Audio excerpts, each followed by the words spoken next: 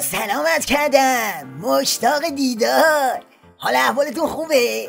ببینم رفقا شما این جمله شعفری رو شنیده بودی؟ منظورم اینه این.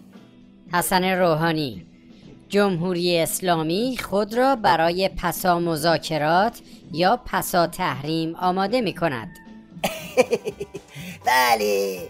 این پس پس پسا کردن ها. نشون دهنده فاز پس افتادن آخونده است این روزا همه خرمورای امامدار و بی امامه نگران وضعیت نظام بعد از ضرب العجل علی گدا از همین حالا دنبال اینه که چماق سرکوب و همچی دوبل سوبله بلند کنه و امامش سفتر بپیچه.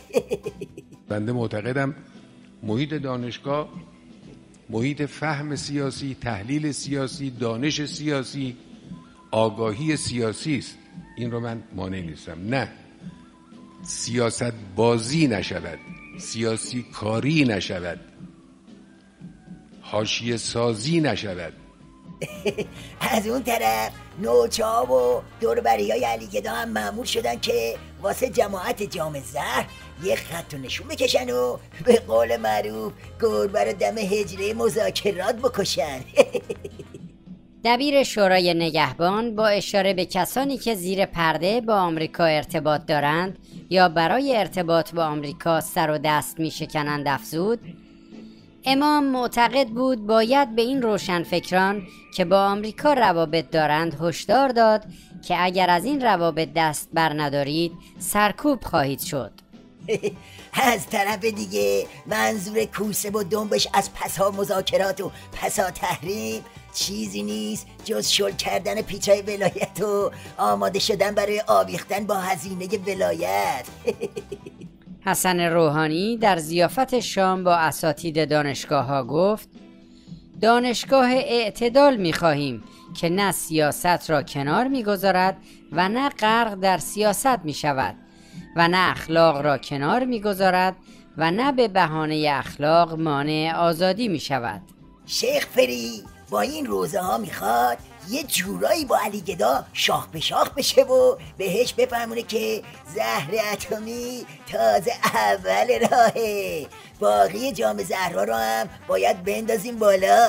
مرا پارای باند کوسم دم گرفتن که آقا توافق همانو چسبیدن دنب نظام به دنب قرب همان. پرونده هسته‌ای به هر کجا برسد سیاست خارجی روحانی مبتنی بر تعامل سازنده با جهان آزمایش خود را برای چندمین بار نشان داده که فقط از این طریق است که می‌توان اهداف سیاست خارجی جمهوری اسلامی را به منصه ظهور رساند. البته این وسط یه نلینی هم هست که یه هوی میره رو ترمز و میگه بابا یواش با این وعده های دوغکی وضعیت رو از این که هست خطری تر نکنید اینجوری نیست که با یه قلب زر همه چی رنگی بشه و امام تبدیل به تاج بشه. نه بابا تازه اول بدبختی هست باید با تأکید و صدای بلند گفت هیچ طرفدار توافقی دچار این تصور باطل وهم و گمان نیست که اگر امروز توافق صورت بگیرد از فردا همه چیز دگرگون شده و تغییر خواهد کرد. اصلاح اقتصاد، سیاست، جامعه، خاور میانه، بهبود روابط با برخی همسایگان و دنیا همه و همه به در پیش گرفتن سیاست های اقلانی و بهینه نیاز دارد. خلاصه این که دوستان این پس پسا رفتن های و شیخ فری همه نشونه همون پیش لرزه ایه که قبلا شکافیش کردیم.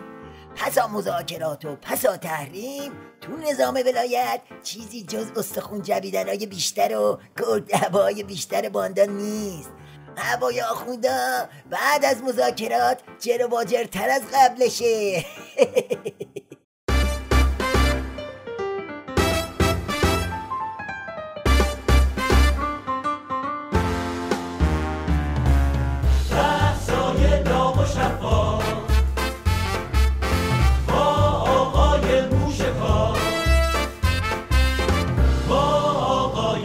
się.